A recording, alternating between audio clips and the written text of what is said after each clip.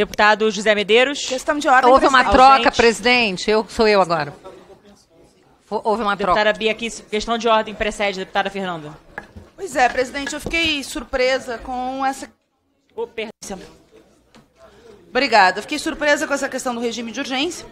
Está sendo utilizado o artigo 157 para trazer a plenário, uma vez que ãh, a plenário da CCJ, que o plenário da Câmara votou ãh, o regime de urgência na semana passada, num ato claramente vinga- vingativo e parte da chantagem política de um Brasil tão difícil como o nosso e, ao mesmo tempo, tão ãh, concentrado de renda. E eu fiquei com uma dúvida, porque, evidentemente, primeiro é a atribuição do presidente ou da presidente trazer, não obrigatório. É, e isso, claro, tem a ver com a ideologia, posição de classe e essa combinação da bancada do atraso da extrema-direita com o agronegócio do atraso.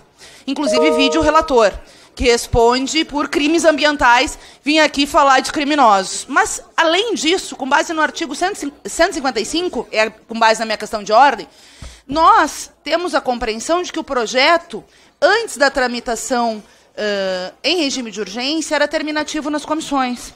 E que, portanto, teria uma tramitação sem prazo de 45 dias, como determina o regime de urgência, lamentavelmente aprovado em plenário na semana passada. Como eu disse, numa lógica absolutamente política de tentar criminalizar um dos maiores movimentos sociais, aliás, do Brasil, o maior movimento social, um dos maiores movimentos sociais da América Latina, que corretamente conduz o Abril Vermelho em alusão e em luta pela reforma agrária num país de terras tão concentrado e, ao mesmo tempo, em homenagem a 21 sem terras assassinados no dia 17 de abril, né, e que é, é expressão da luta por justiça a esses lutadores, trabalhadores e trabalhadoras. E já que teve essa tentativa com a bancada da extrema-direita bolsonarista, com o agronegócio e uma guerra velada do presidente Arthur Lira a partir das disputas do poder, mesquinhas, pequenas, diante da grandeza dos sentimentos e das necessidades do povo brasileiro, esse regime de urgência foi aprovado. Pois bem, um projeto que era terminativo nas comissões, que não tinha, deputado Chico Alencar, tempo hábil para conclusão de votação, que tinha o precedente de passar por comissões atinentes, como de reforma, regularização urbana, meio ambiente, porque nós estamos tratando de questões ambientais, e que vem para a CCJ.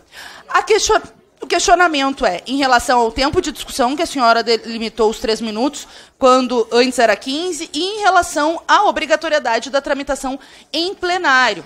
E em relação ao próprio prazo regimental, que a senhora diz, não, precisava chamar, a senhora não, a, a deputada que estava né, na condição da presidência naquele momento, nós somos obrigados a chamar na CCJ, isso não condiz com o regimento, é uma escolha política da presidente da CCJ chamar para a Comissão de Constituição e Justiça para acelerar esses prazos e para, mais uma vez, botar essa comissão no obscurantismo e no chorume do bolsonarismo.